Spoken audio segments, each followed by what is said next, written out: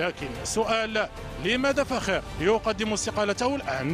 في وقت الفريق يقارع فيه على لقب الدوري المغربي. ولماذا لا يزيد صبرا على آخر؟ ويواصل القيادة إلى حين ما ستسفر عنه الجمعية العمومية الاستثنائية. أم إن الأمر يضمر ما لا يظهر؟ في وقت منح فيه فاخر إدارة النادي مهلة ثلاثة أيام للبحث عن مدرب جديد. وينضم إلينا عبر الهاتف من الدار البيضاء جواد الأمين الرئيس السابق للجنة الاحتراف بنادي الرجاء البيضاوي. أهلا بك سيد جواد. الرجاء يمر بأزمة إدارية ومالية منذ بداية الموسم. فاخر في خرجات إعلامية كثيرة تحدث بحرقة عن الوضعية التي يعيشها فريق بقيمة الرجاء وعن غياب التواصل وعدم تجاوب عفوا مجلس الإدارة مع المتطلبات.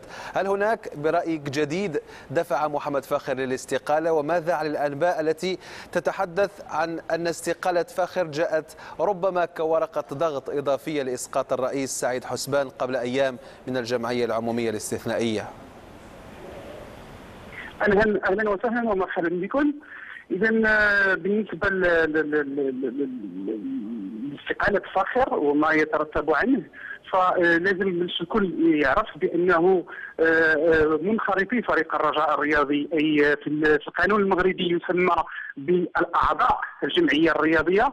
هم قاموا باجتماعات متعددة. فهذه الاجتماعات ترسخ عنه صاحب الثقة من الرئيس الحالي السيد سعيد حسبان ومكتبه المسير وذلك ذلك نتيجة المشاكل المترتبة عن تسيير فريق الرجاء الرياضي وذلك الناتج عن أن السيد سيد سعيد حسبان لم يكن يستطيع أن يساير مشاكل فريق الرجاء الرياضي منذ الجمع الاستثنائي الأخير.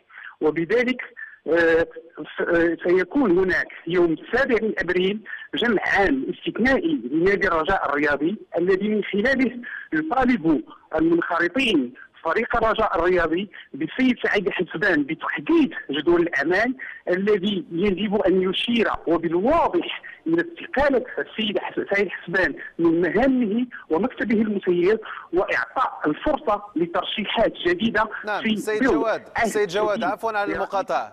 لم تجبني على السؤال ما الأسباب التي دفعت فاخر للاستقالة في الوقت الحالي؟ وهل هذه الاستقالة هي بمثابة ورقة إضافية لإسقاط ربما مبكرا سعيد حسبان قبل الجمعية العمومية؟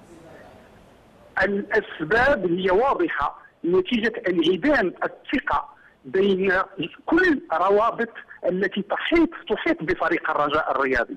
كل الروابط أصبحت منعدمة الثقة. وذلك من خلال